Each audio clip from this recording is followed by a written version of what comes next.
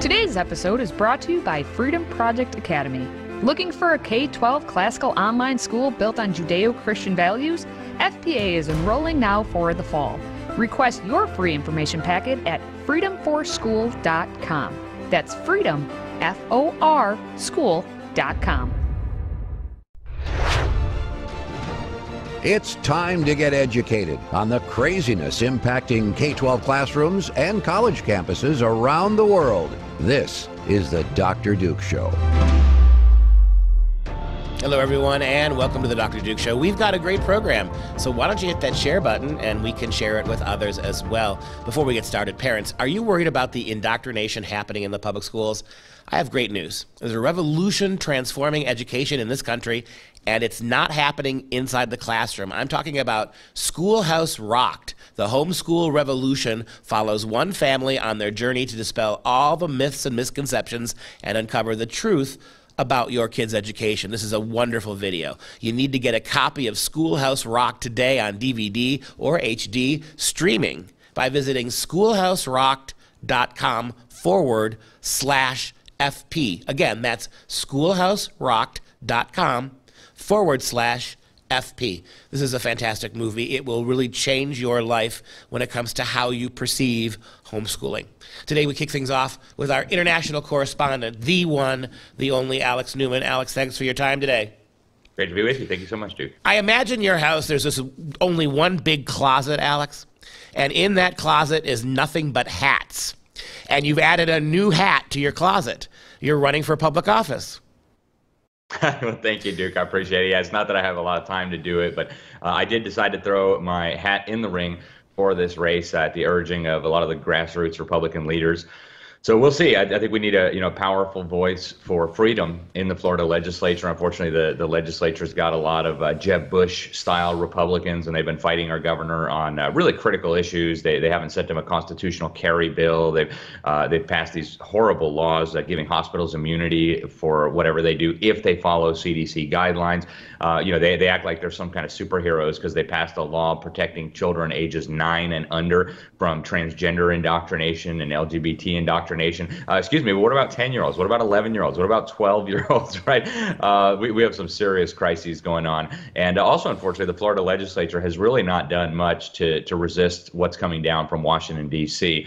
So uh, I've given up hope on Washington, D.C. as a source for solutions. That really is the source of our problems. And I'm hoping that at the state level, we can really turn this around. So that's why I threw my hat in the ring. We'll see what happens. But uh, it's been exciting and a lot of fun so far. Well, we certainly support you. And we have some more information today about why people like you are deciding to run. Public schools, to the surprise of nobody, are bleeding students.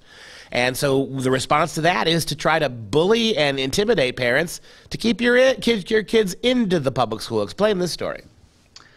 Uh, it, it, really is amazing, but it's not uh, surprising. So you've got uh, a, a, school district, a county in Kentucky that has been deploying government agents to go harangue and pester and, and even threaten implicitly parents who are not sending their kids to school anymore and who've decided to homeschool. And so uh, the HSLDA first broke this story. Uh, one of their attorneys talked about multiple parents from this area reporting that uh, government agents were calling them and trying to encourage them to send their kids back to school, threatening that they were going to do uh, follow up home visits if the kids didn't show up at school. Uh, in one case, Duke, they even sent uh, what was described as an unmarked white police car filled with government agents to go knock on a family's door and ask them why they weren't sending their kids back and tell them that they're missing all kinds of fun field trips, and uh, they promised to follow up if the kids didn't end up uh, back at school by uh, sometime during the summer. So uh, this is, is really outrageous. In fact, where I stay uh, here on the coast of Florida, the government schools were sending out little postcards telling parents, hey, if you send your kids back to school, you'll get free laptops from the government, right? So all these crazy gimmicks and, and implicit threats, it, it's out of control, Duke, but they are terrified that with this exodus of students out of the schools, their budgets are going to be slashed. Uh, and I think they're right to be terrified. I gave a anti-critical race theory talk down in uh, East Troy, Wisconsin, small place, uh, yesterday night.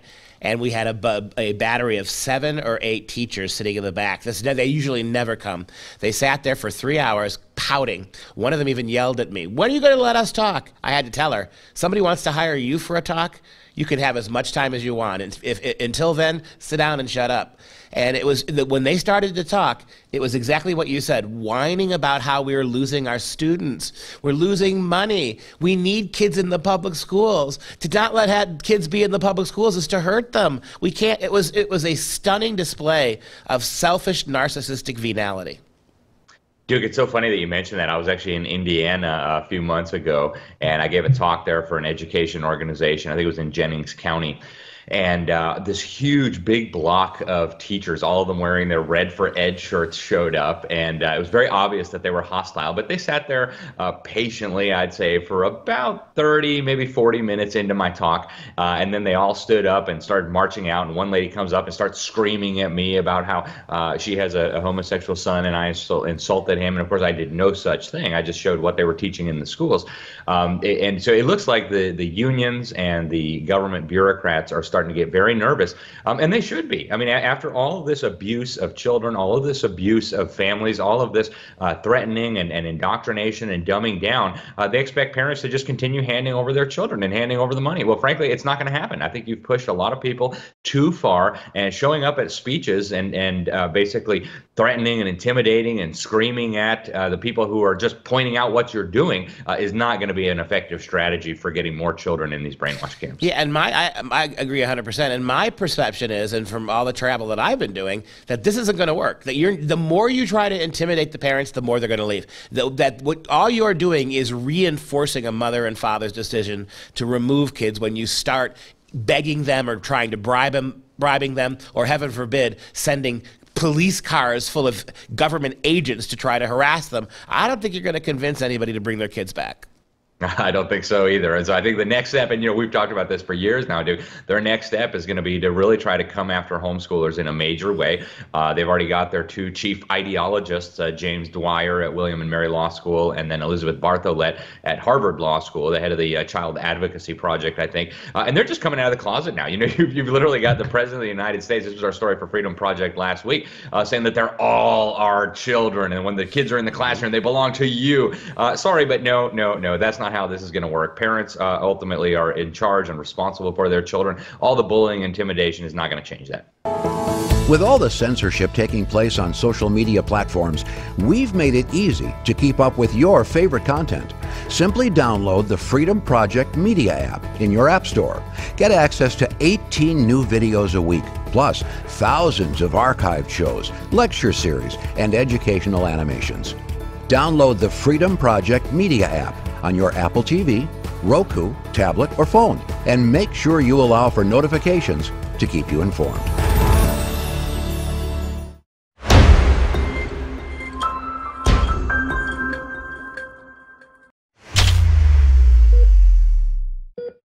Everything is just so funny right now. It's all one big joke. But it's not funny. I mean, sure, it's funny to those in the penguin suits. I like to call them the ruling class. Joe Biden just calls them his friends. These people have been so hard on you, which I don't get. I really don't. You know, I think ever since you've come into office, things are really looking up. You know, gas is up, rent is up, food is up, everything. Everything. It's just so funny. Let me laugh at the plebes. Which brings us to today's question. You, Fellow plebe, if you were hosting the White House Correspondents' Dinner, what's the main joke you would tell? Let me know your thoughts in the comments, and please share the video with your fellow plebes, those who are allowed to live, contrary to what Elizabeth Warren wants, but we'll get to that later. Now, back to the hosting of the White House Correspondents' Dinner. I'll give Trevor Noah some credit, a little bit of credit, just because he at least made one joke that the rest of us all call truth. It is my great honor to be speaking tonight at the nation's most distinguished super spreader event. no, for real, people, what are we doing here? Let's be honest, what are we doing? Like, did none of you learn anything from the gridiron dinner? Nothing. Huh? Like, do you read any of your own newspapers? I mean, I expect this from Sean Hannity, but the rest of you, what are you doing here? You guys spent the last two years telling everyone the importance of wearing masks and avoiding large indoor gatherings. Then the second someone offers you a free dinner, you all turn into Joe Rogan. Huh? I mean, Dr. Fauci dropped out. That should have been a pretty big sign. Silly Trevor. Also, I did not realize that Jeff Dunham's puppet Walter was in attendance, at the head table, no less. And Trevor's absolutely right. It could have been a super spreader event. That's why the greatest of all lying doctors, Tony the Fouch, said he was not going to attend. Instead, he went to the pre party with CNN's Don Lemon, where I guess the COVID doesn't hang out because it must have only been inside the Correspondents' Dinner, not the pre party to the Correspondents' Dinner. Being the omniscient, almighty Dr. Savior, the Fauci did an individual assessment of personal risk and found that to be the truth. The flip flopper Fauci earlier in the week was doing his usual TV cajoling and told PBS that we are getting out of the pandemic. We are certainly right now in this country out of the pandemic phase. Namely, we don't have 900,000 new infections a day and tens and tens and tens of thousands of hospitalizations and thousands of deaths. We are at a low level right now. So if you're saying, are we out of the pandemic phase in this country? We are. What we hope to do, I don't believe, and I've, and I've spoken about this widely, we're not going to eradicate this virus. So the pandemic is over. Certainly, according to Fauci. Cool beans. But of course, he had to walk that one back real quick once, because that may mean people can live their lives. And, you know, we simply cannot have that. Tony can, but you can't. And that's why it's okay that Tony went to the brunch and not the dinner of the Correspondence Gala. He was there in spirit because he was still massaging at least one member of the media, like they all were doing to each other that night. What a room this is, huh? Look at this room. Everyone is here tonight. We've got politicians, huh? We've got the media, we've got celebrities, basically anyone who's been to Jeffrey Epstein's island. This is an exclusive event. Notice how offended they all were. It's because he just spoke the truth. And that truth was not found in pretty much any of Biden's attempt at speech and the funny ha-has. Tonight, we come here to answer a very important question in everybody's mind. Why in hell are we still doing this? This is the first time the president attended this dinner in six years.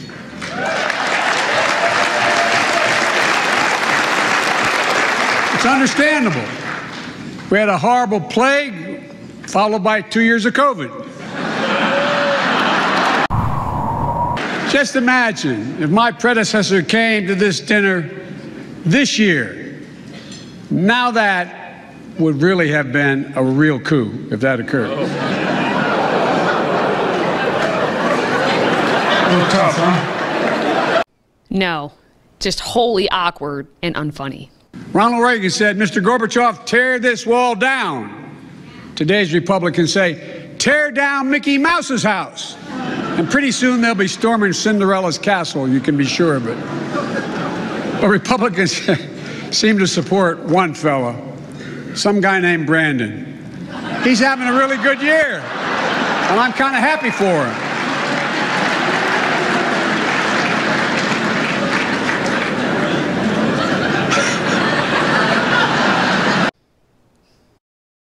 I just broke out in hives. How about you? Okay, maybe I didn't, but who's going to call me on it? Oh, yes, the federal government to the rescue. That's right, the Department of Homeland Security will unleash upon me the newly created Disinformation Governance Board. Will American citizens be monitored? No.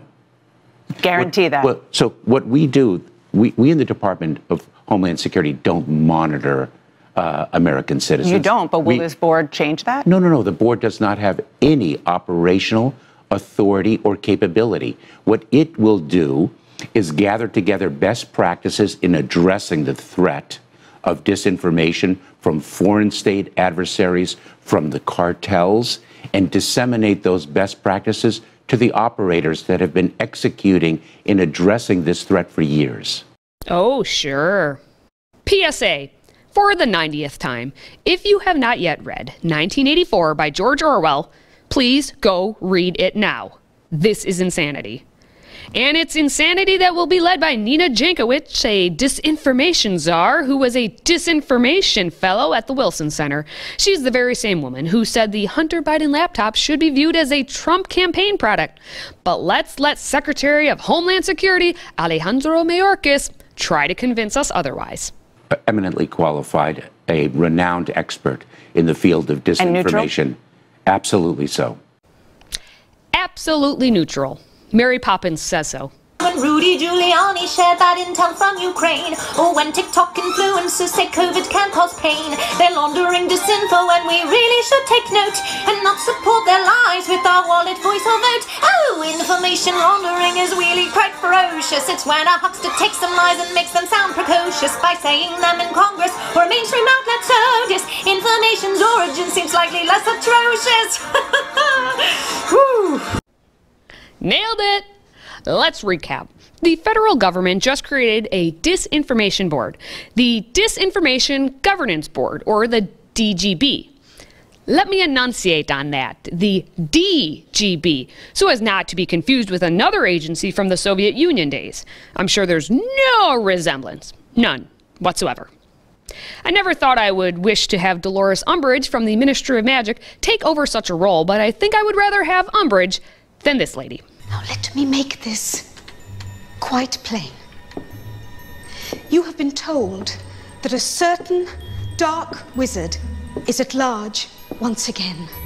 This is a lie. Now, I want you to write I must not tell lies. How many times? Well, let's say for as long as it takes for the message to sink in. Because you know, deep down, you deserve to be punished. Don't you, Mr. Potter? Yes, that witchy woman is better than Jankowicz, who is now running the non fictional Ministry of Truth.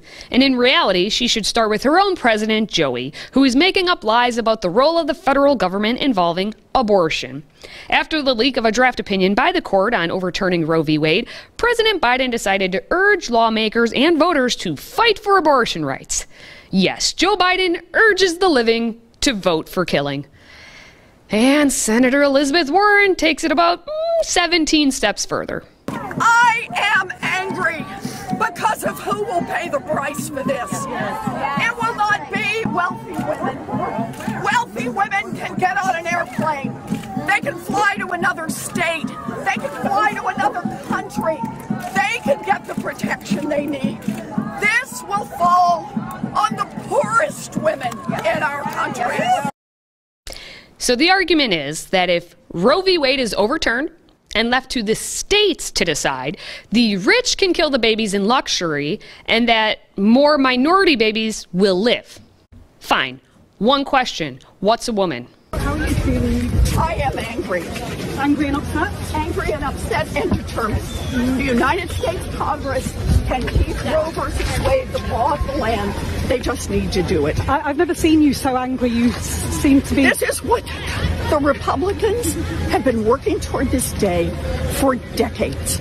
They have been out there plotting, carefully cultivating. Lizzie's a good Methodist, though, just as Joe's a good Catholic. You must remember this. Joe demonstrated as much on this year's Ash Wednesday. And last night you continued to support Roe v. Wade as a Catholic. Why do you support abortion as a Catholic? Define church teaching. I tell you what, I don't want to get in a debate with you on theology, but you know, well, anyway. I'm why? Not, I'm not, I'm not why support abortion? I'm not going to make a judgment for other people.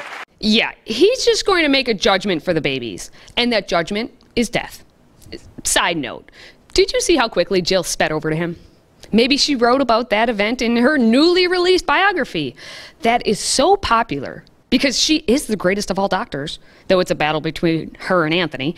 She's so popular that the book sold 250 copies.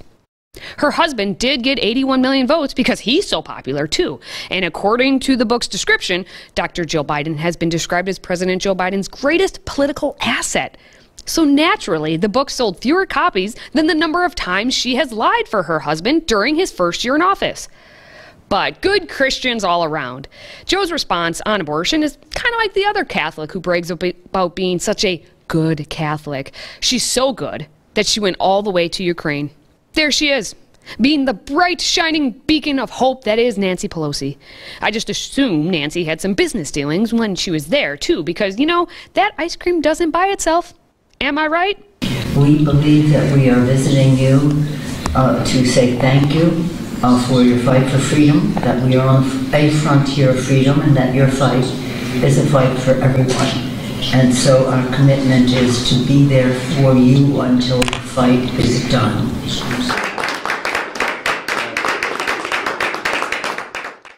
She traveled all the way to Ukraine on your dollar to say that. Neat. But that's why she wasn't at the Correspondents' Dinner. She had to be the shining star, becoming the highest ranking official to visit Ukraine since the Russian invasion. The person next in line, ahead of her, couldn't go because she got the thing. Which brings us to.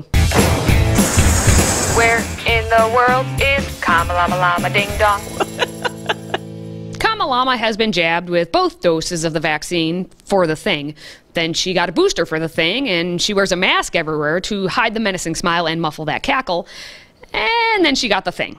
But she added to her litany of action to protect against the thing by taking an antiviral pill. And she will mask up to protect her ego or something. Not like all those unmasked at the Met Gala, where those who wear the goofiest of outfits are protected from the thing. Like New York City Mayor Eric Adams, who tried to one up Representative Alexandria Ocasio Cortez in his chalkboard outfit at the Met Gala. Last year, we remember, AOC in her, you know, tax the rich dress. Well, in comes Adams this year with an end gun violence tux. These are the true heroes. What we've learned this week is that COVID won't get you if you are at an indoor event, if it's, you know, for a just reason, or if you are part of that ruling class. But it will get you if you are triple jabbed and wearing a mask. That is the truth. So I guess I can now be the head of the Ministry of Truth. The truth of the truth is that you should continue to give your F's faith, family, and friends. And you should share this video. Until next time, stay healthy, America. If you have a question for Dr. Duke and Katie, please send it our way by emailing askduke at fpeusa.org. Okay, before we wrap things up, I do want to take a moment to show some love to our Patriot Club members. Today, we give a great big shout out to Joe from Bartlett, Illinois. Thanks for supporting us, Joe. We really appreciate that. And that's going to do it until next time. I'm Dr. Duke. Stay educated, my friends.